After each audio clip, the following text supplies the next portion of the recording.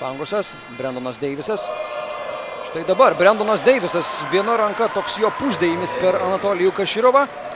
Ir amerikietis atlieka pirmą įmetimą iš žaidimo. 70-56.